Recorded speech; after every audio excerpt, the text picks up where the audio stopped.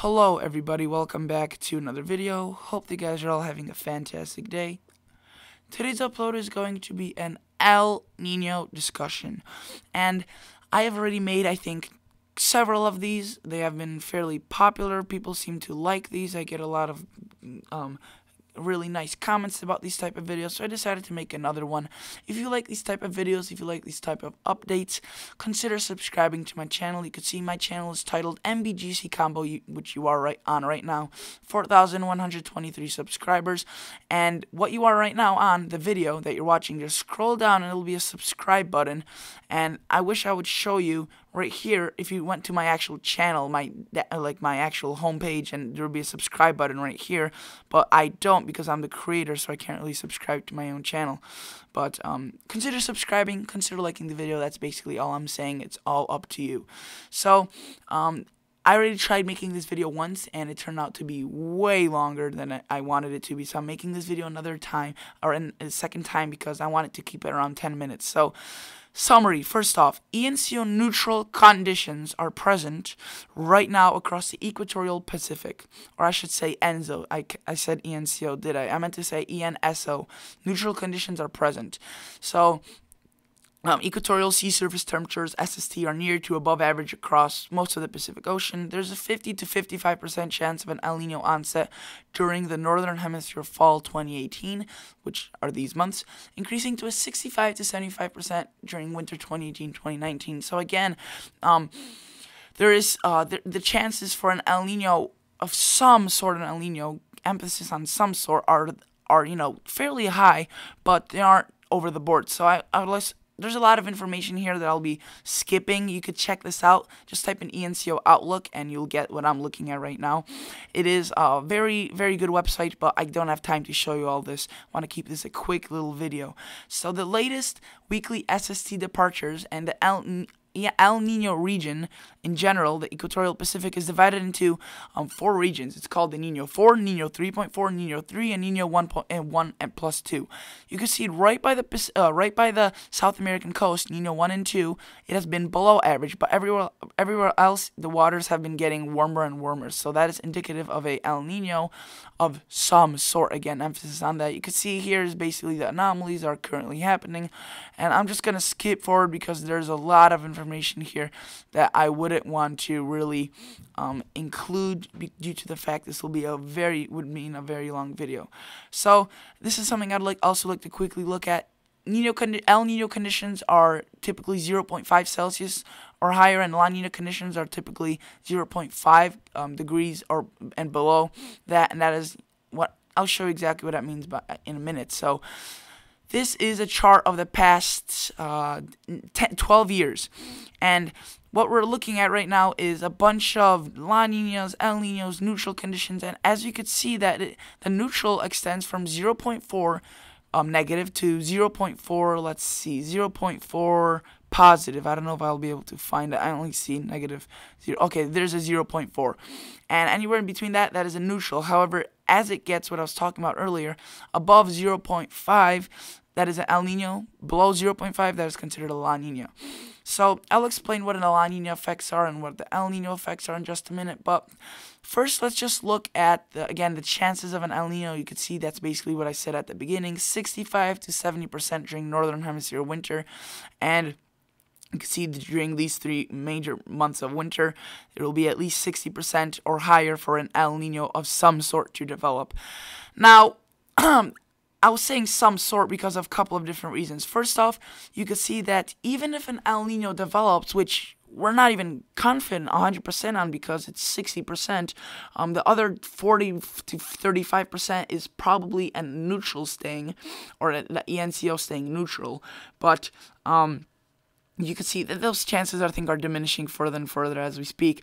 But the models, these three, the statistical average, the DYN average, and the CPC console are, I think that's DYN, can't really read that well from here, but this these three lines, hopefully you can see them, the green, the red, and blue are all showing below a 1 um, one degree above average El Nino, but between that 0.5. So that would classify as an El Nino, but just barely. So that is considered a weak El Nino.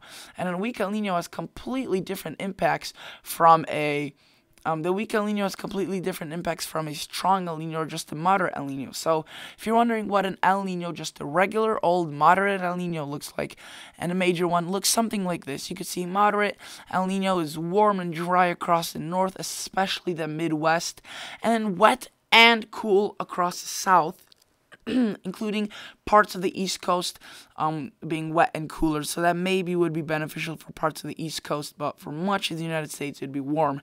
And you can see that jet stream that would bring those cold conditions that would that would allow those um, bitter Arctic fronts to drop into the United States is just way up north into Canada, but uh, with an El Nino. However, there's a catch to this, and this is a fairly big catch. So, right, there's this thing called an El Nino Modoki, Modokai, and the chances overall, I would be saying right now, are definitely diminishing for an El Nino Modokai.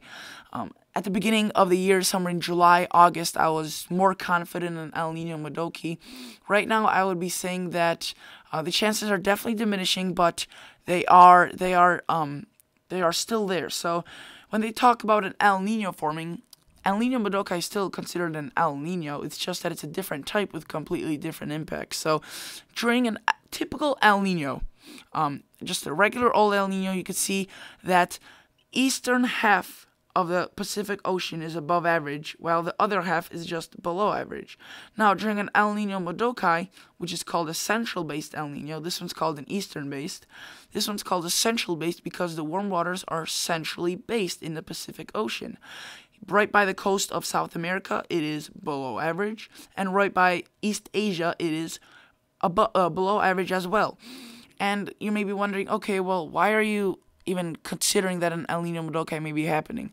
Well, we don't really, there's no such thing as an El Nino Modokai outlook forecaster, but we just got to look at the sea surface temperatures and we could tell a lot by, you know, from these sea surface temperatures without looking at any forecasts or predictions. So right now, as you could see, it's just warm all throughout. So neither it's an El Nino, it's neither an El Nino Modokai. It's it's really somewhere in between an El Nino and an El Nino Modokai and a neutral. All, all of those three things combined. You can see that um, it is warm, so it's definitely um, I think going to be you know tilting from towards an El Nino rather than a neutral.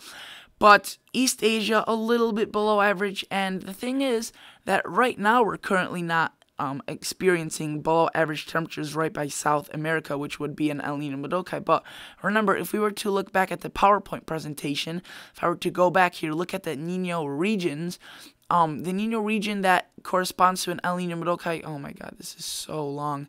Sorry. Uh, okay, there we go. So an El Nino, um, right there, Nino one and two that correspond to an El Nino Modokai forming, or one of the correspondents, are right now falling in temperatures and becoming more, you know cooler and cooler. So this thing would probably turn blue within a couple of weeks.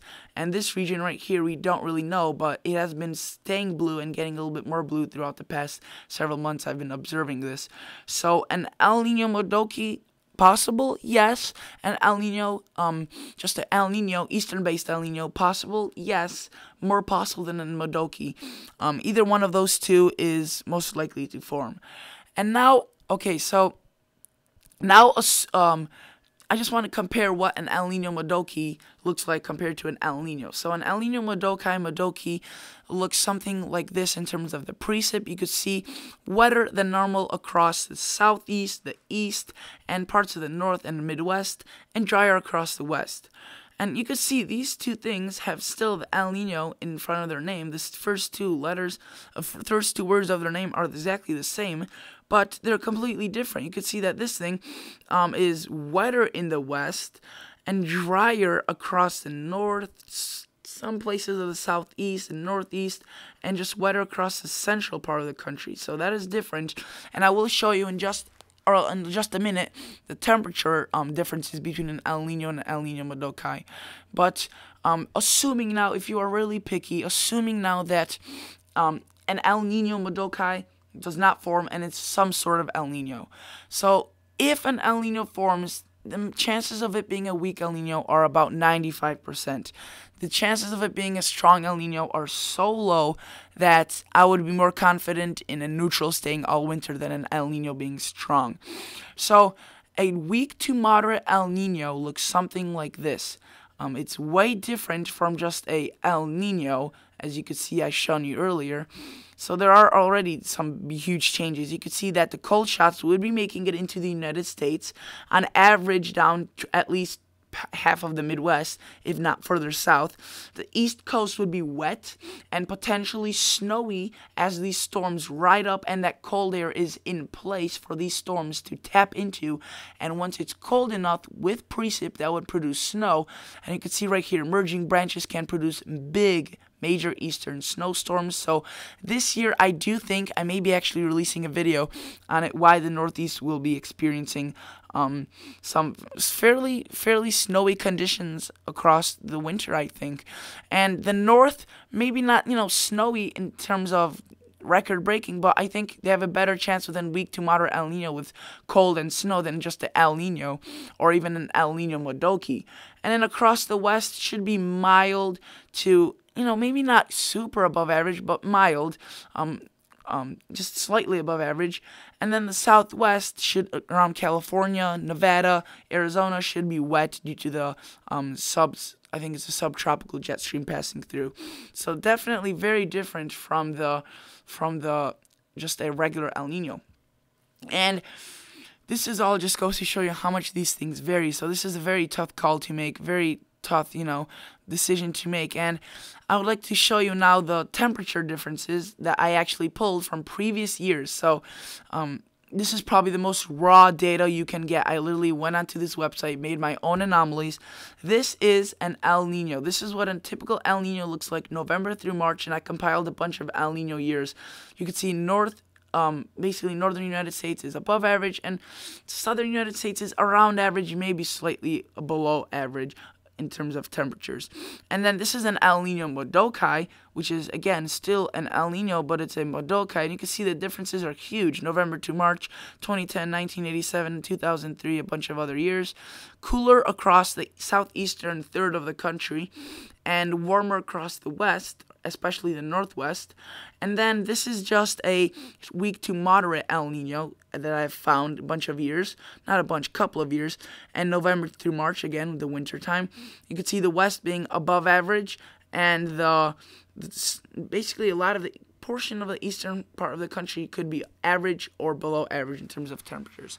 So what I would say right now, and my biggest confidence is the northwest or the west being below average, at, especially the northwest, or above average in terms of temperature. Solid, sorry, and I would also be confident in the southeast being uh, below average in terms of temperatures. Those are my two biggest confidence points right now. Whether the below average will extend into the northeast, whether the above average will extend into the southwest, I'm not too sure because there's still a lot to be solved. So thank you guys so much for watching. Please consider liking the video. Please consider subscribing to my channel, and I'll catch you all guys in the next episode.